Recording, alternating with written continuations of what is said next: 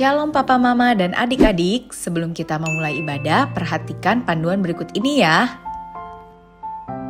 Mohon bimbingan Papa dan Mama selama adik-adik mengikuti ibadah secara online. Adik-adik perlu tahu bahwa Tuhan dapat hadir di mana pun termasuk di rumah. Adik-adik siap dengan baju yang rapi dan sopan seperti sedang berada di dalam gereja. Adik-adik dapat mengikuti instruksi kakak-kakak sekolah minggu dengan antusias. Adik-adik bebas berekspresi dalam memuji dan menyembah Tuhan. Selama mengikuti ibadah, adik-adik fokus dan tidak melakukan kegiatan lain. Siapkan hati dan sikap yang terbaik untuk Tuhan Yesus. Selamat beribadah.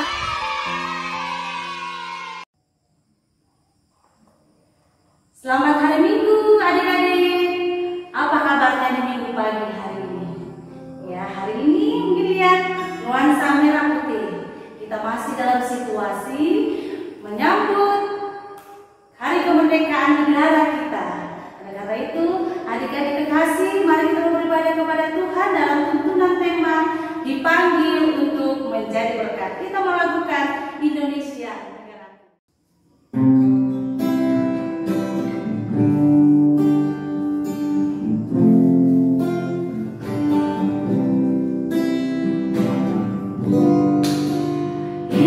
Indonesia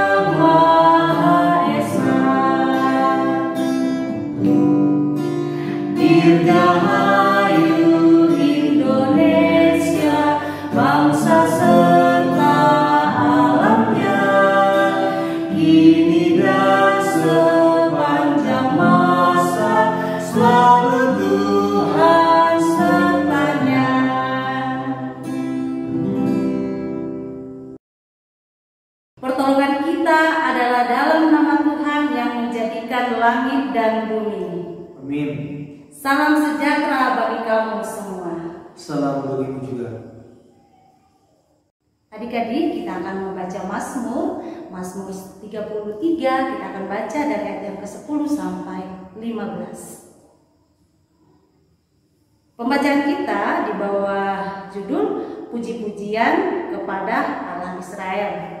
Ayat 10. Tuhan menggagalkan rencana bangsa-bangsa. Ia meniadakan rancangan suku-suku bangsa. Tetapi rencana Tuhan tetap selama-lamanya. Rancangan hatinya turun temurun. Berbahagialah bangsa yang Allahnya ialah Tuhan. Suku bangsa yang dipilihnya menjadi miliknya sendiri. Tuhan memandang dari sorga. Ia melihat semua anak manusia. Dari tempat kediamannya, ia menilik semua penduduk bumi. Dia yang membentuk hati mereka sekalian, yang memperlihatkan segala pekerjaan mereka. Amin. Kita akan membaca dasar kita dari keluaran 20 dari ayat yang pertama sampai ayat yang ke-17. Ke-10 firman. Lalu Allah mengucapkan segala firman ini. Akulah Tuhan Allahmu yang membawa engkau keluar dari tanah Mesir dari tempat perbudakan. Jangan ada padamu Allah lain di hadapanku. Jangan membuat bagimu patung yang menyerupai apa pun yang ada di langit di atas, atau yang ada di bumi di bawah, atau yang ada di dalam air di bawah bumi. Jangan sudut menyembah kepadanya atau beribadah kepadanya, sebab aku, Tuhan Allahmu, adalah Allah yang cemburu, yang membalaskan kesalahan bapa kepada anak-anaknya, kepada keturunan yang ketiga dan keempat dari orang-orang yang membenci aku. Tetapi aku menunjukkan kasih setia kepada beribu-ribu orang yaitu mereka yang mengasihi aku dan yang berpegang pada perintah-perintahku. Jangan menyebut nama Tuhan Allahmu dengan sembarangan, sebab Tuhan akan memandang bersalah orang yang menyebut namanya dengan sembarangan. Ingatlah dan kuduskanlah hari sabat. Enam hari lamanya engkau akan bekerja dan melakukan segala pekerjaanmu. Tetapi hari ketujuh adalah hari sabat Tuhan Allahmu. Maka jangan melakukan sesuatu pekerjaan, engkau atau anakmu laki-laki, atau anakmu perempuan, atau hambamu laki-laki, atau hambamu perempuan, atau hewanmu, atau orang asing yang di tempat kediamanmu. Sebab enam hari lamanya Tuhan menjadikan langit dan bumi, laut dan segala isinya. Dan ia berhenti pada hari ketujuh. Itulah sebabnya Tuhan memberkati hari sabat dan menguduskannya. Hormatilah ayahmu dan ibumu, supaya lanjut umurmu di tanah yang diberikan Tuhan Allahmu kepadamu. Jangan membunuh, jangan bersinah, jangan mencuri, jangan mengucapkan saksi dusta tentang sesamamu, jangan mengingini rumah ses sesamamu, jangan mengingini istrinya, atau hambanya laki-laki, atau hambanya perempuan, atau lembunya, atau keledainya, atau apa pun yang dipunyai sesamamu. Amin. Sama-sama kita ucapkan Tuhan kasihanilah kami.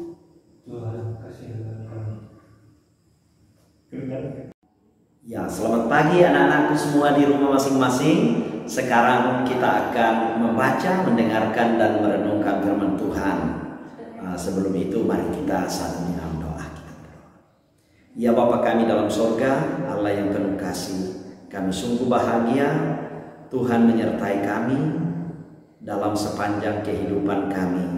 Bahkan sampai pada hari Minggu saat ini, kami rindu dan siap untuk membaca, mendengarkan dan merenungkan firman-Mu.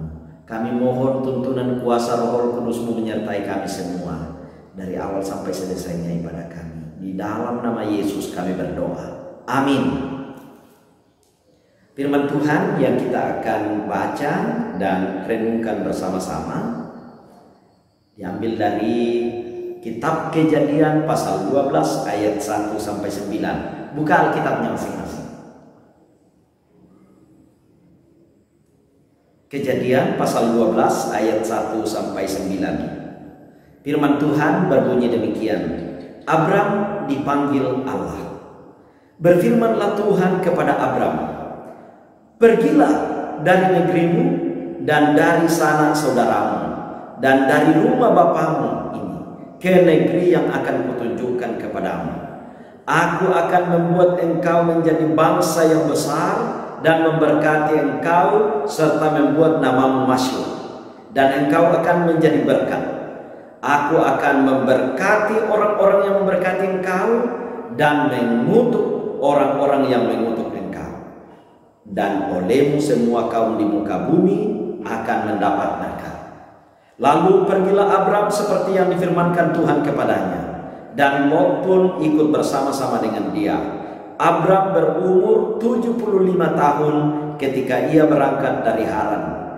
Abram membawa Sarah istrinya dan Lot anak saudaranya dan segala harta benda yang didapat mereka dan orang-orang yang diperoleh mereka di Haran.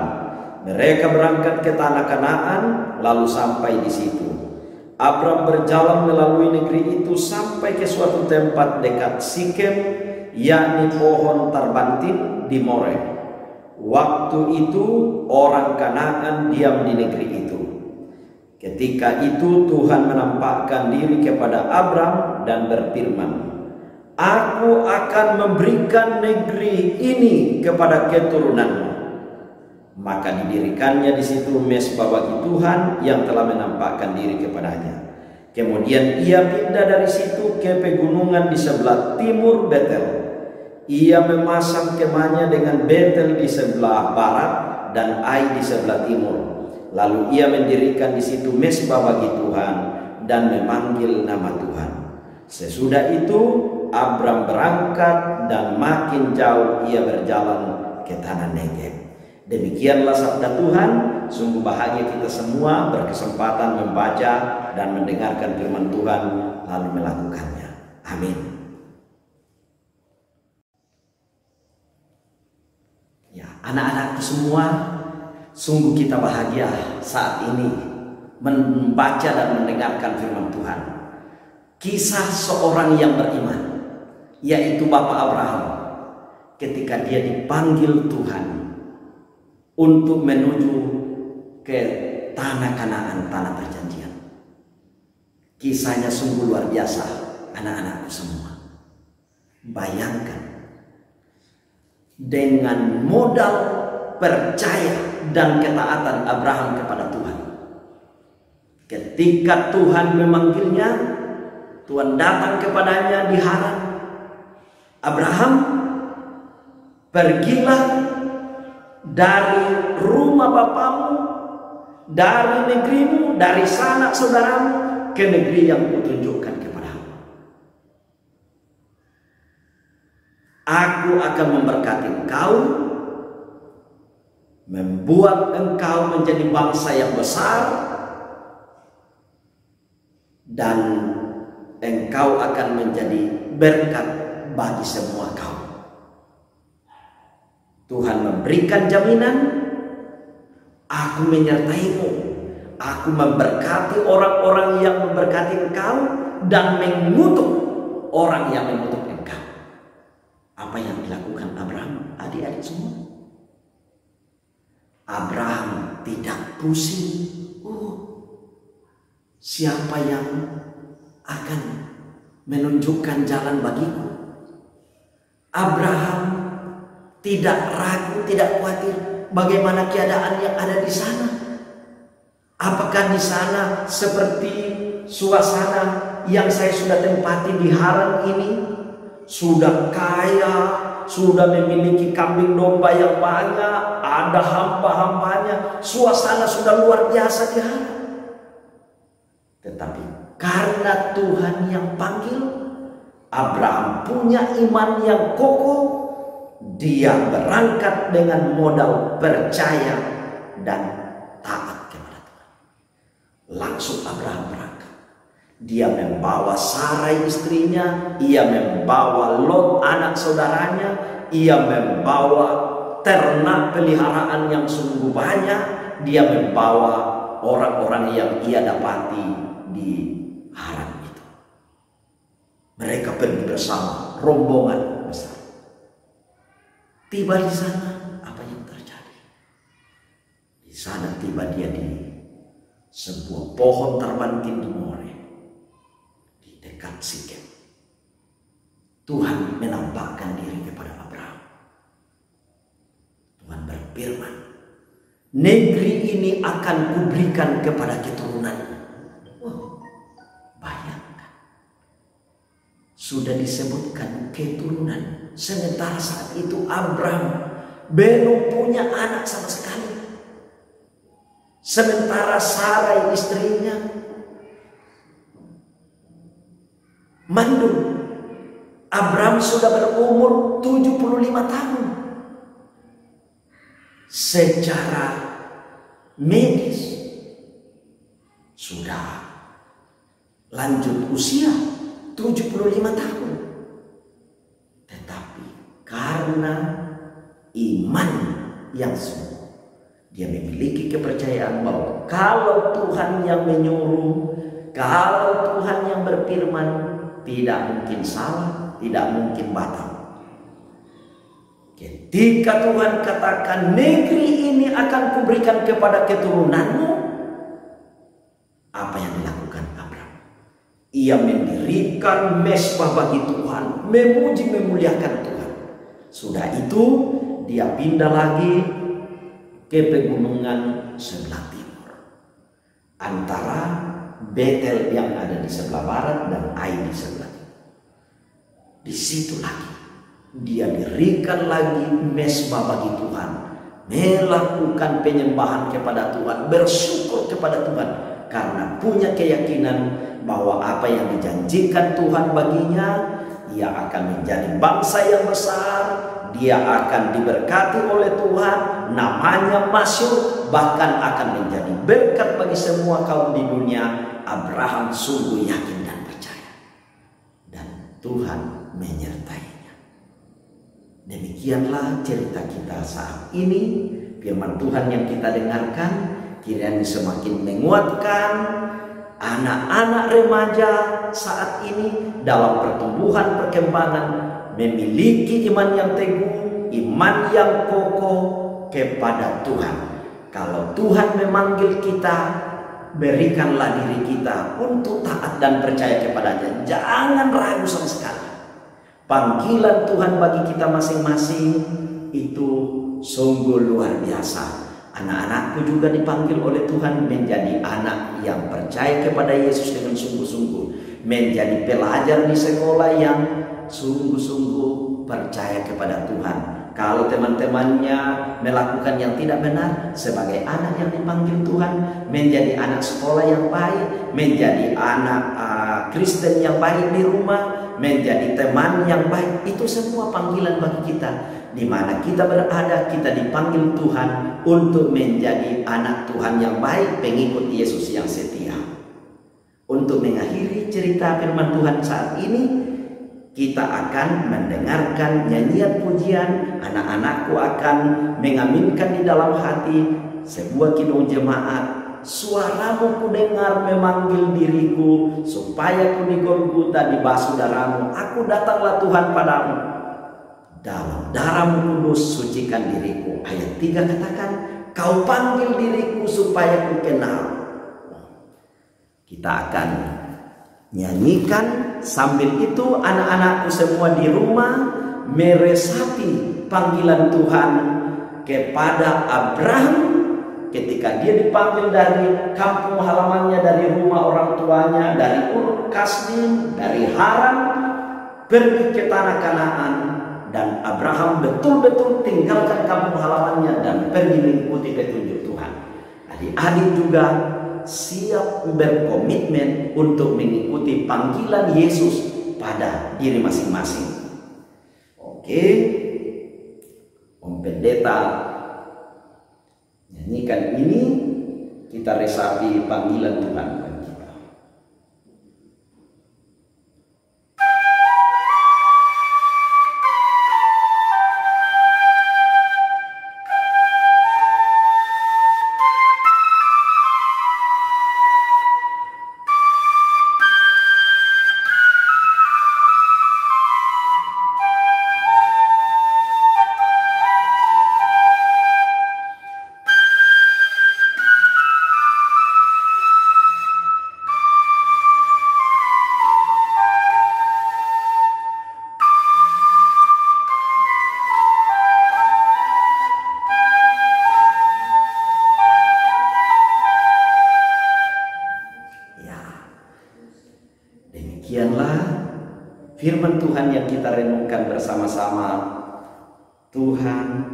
memanggil Abraham.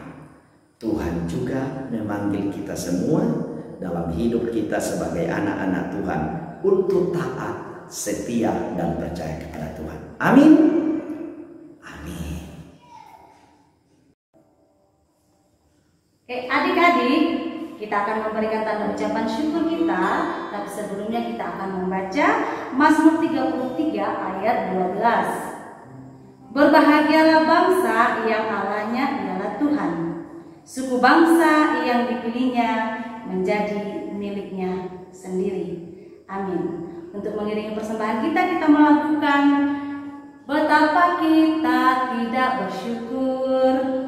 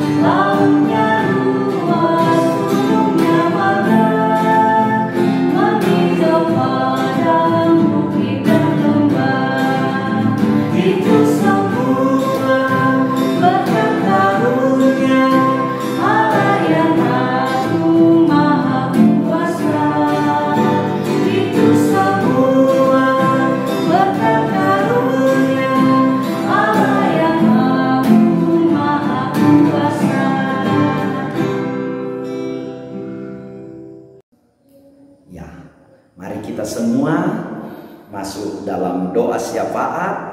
Ah, Ada yang dibawakan oleh anak-anak sekolah minggu, ada yang dibawakan Om Pendeta. Om Pendeta doakan tentang pemerintah kita, kemudian kita sambung bersama-sama doa Bapa kami, doa yang diajarkan Tuhan Yesus. Mari kita berdoa. Tuhan Yesus, terima kasih pada hari ini kami sudah mendengar firman-Mu. Kiranya firman-Mu dapat berguna bagi kami. Ya Tuhan, berkati juga persembahan kami agar dapat dikelola dengan baik. Indo anakmu, dalam nama Tuhan Yesus, kami berdoa. Tuhan Yesus, kami berdoa buat teman kami dalam belajarnya dengan baik, walau hanya di rumah. Berkati juga dalam mereka bermain. Biarlah boleh mencari teman yang baik. Ini doa kami. Ya Tuhan, Allah Bapa kami yang ada dalam kerajaan surga, kami berdoa bu- buat guru-guru kami di sekolah. Tuhan, berkati mereka, berikan mereka kekuatan, kesehatan yang baik. Jauhkan mereka dari COVID-19. Kami juga berdoa buat kakak guru sekolah minggu kami. Tuhan berikan kekuatan dan kesehatan yang baik. Inilah doa kami yang kami angkat kepadamu. Bapa kami yang surga, kami bersyukur kasih setiamu menyertai kami, memberikan kami juga negeri ini yang begitu indah. Engkau juga yang meletakkan pemerintah untuk memimpin negeri ini dengan baik. Kami bawa kepadamu, Tuhan peliharakan, Tuhan berkati, presiden dan wakil presiden, gubernur dan wakil gubernur, wali kota dan wakil wali kota, para camat, para lurah, bahkan sampai kepada ketua-ketua RT. Tuhan memberkati pemimpin-pemimpin kami, kiranya sungguh-sungguh melayani rakyat dengan baik dan benar. Teristimewa saat-saat ini akan menghadapi pesta demokrasi. Tuhan memberkati semua pihak yang akan mengambil bagian di dalamnya, baik itu pemerintah, panitia pelaksana, panwas, keamanan, praktisi politik, para kandidat, tim sukses, bahkan rakyat pemilih. Kiranya Tuhan berkati dan sungguh-sungguh menjatuhkan pilihan pada yang tepat, yang sungguh-sungguh baik dan benar sesuai dengan kehendak Tuhan sehingga melahirkan pemimpin-pemimpin bangsa yang penuh tanggung jawab, yang dikenang oleh Tuhan. Oh Bapa di sorga, inilah doa syafaat kami, permohonan kami di dalam nama Yesus yang mengajar kami berdoa bersama-sama. Bapa kami yang di sorga, dikuduskanlah namamu, datanglah kerajaanmu, jadilah kehendakmu di bumi seperti di sorga. Berikanlah kami pada hari ini makanan kami yang secukupnya, dan ampunilah kami akan kesalahan kami, seperti kami juga mengampuni orang yang bersalah kepada kami. Dan janganlah membawa kami ke dalam pencobaan, tetapi lepaskanlah kami daripada yang jahat. Karena engkaulah yang mempunyai kerajaan dan kuasa dan kemuliaan sampai selama-lamanya. Amin. Adik-adik, kita akan masuk dalam aktivitas kita pagi ini, yaitu ayat hafalan. Ayat hafalan kita minggu pagi ini dari Mazmur 33 ayat 12. Ya, Mazmur 33 ayat 12. Mari sama-sama kita membaca. Berbahagialah yang Allahnya ialah Tuhan, suku bangsa yang dipilihnya menjadi miliknya sendiri. Berbahagialah bangsa yang Allahnya ialah Tuhan, suku bangsa yang dipilihnya menjadi miliknya sendiri. Mazmur pasal ke-33 ayat yang ke-12 berbunyi demikian. Berbahagialah bangsa yang Allahnya ialah Tuhan, suku bangsa yang dipilihnya menjadi miliknya sendiri. Kita ulangi sekali lagi ya. Mazmur pasal yang ke-33 ayat yang ke-12 Berbahagialah bangsa yang Allahnya ialah Tuhan, suku bangsa yang dipilihnya menjadi miliknya sendiri. Mazmur 33 ayat 12 berbunyi demikian Berbahagialah bangsa yang Allahnya ialah Tuhan suku bangsa yang dipilihnya menjadi miliknya sendiri. Amin. Ya, adik-adik kita melakukan marilah marilah hai saudara kita menyebarkan terang